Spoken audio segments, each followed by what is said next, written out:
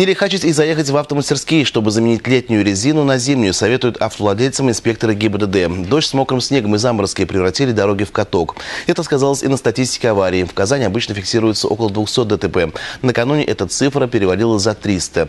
Не обошлось без трагедий. Синоптики потепления пока не обещают, так что тянуть с визитом в шиномонтаж не стоит.